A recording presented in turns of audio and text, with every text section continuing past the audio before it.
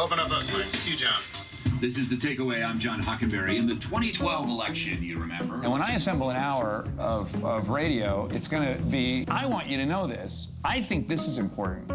This is kind of a weird thing about me, but go with me on this. This story you have to hear. We're a show for people who are reading the news every day and then are looking for analysis of those news stories.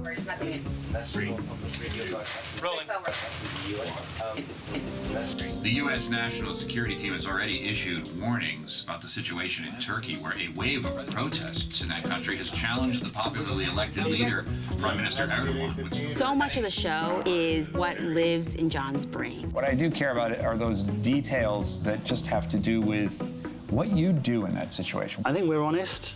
I don't think we pretend to be what we're not. We want the authenticity of the reporters, so we're we're interested in raw.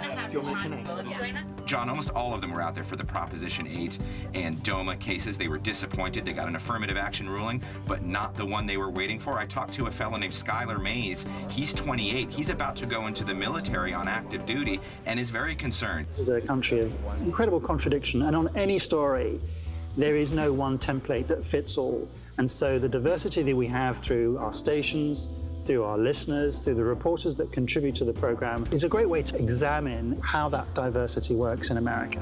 And I've really appreciated the fact that the takeaway is open to that idea of taking the big national issues, but then looking through a local lens at how different communities are grappling with these issues. Our classes with a He led the team behind this new brain drone and joins me here in the studios of Minnesota Public I think one of the things I really appreciate about John Hockenberry is that he's a real journalist. He comes from a reporting background, and he knows that the real story happens on the ground. Joining us now is Elif Batuman, who's been on the ground in Istanbul. What can you tell us about what's happening on the streets, Elif? And having his experience, his depth, his understanding, the way he reads around the subject. He knows how to frame a conversation. I mean, how easy is it to work with billions of dollars? I mean, I, either way, the answer is scary to me. It, it's not. It's not easy. Glad to hear you say that. Our listener component is a huge driving factor in what we do and how we think about content. And we also try to do that with Facebook and Twitter. We get a lot of responses on both. We reach out in social medias. The best payoff is when a listener gives us a great idea and we're able to run with it. We don't want to, you know, cut anyone out of the conversation.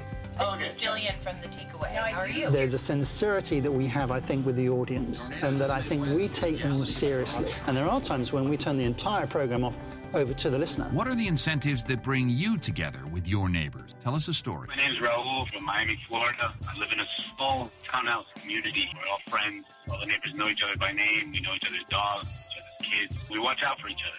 You know, I think there's magic in what you can do in a short period of time uh, if you have a lot of uh, authenticity, honesty, and intent. And, and people love to go with you on that. I'm John Hockenberry, and this is The Takeaway.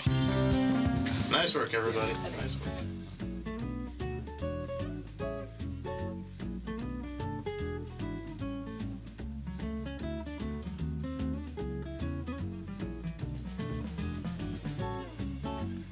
Where's the bowl of M&Ms?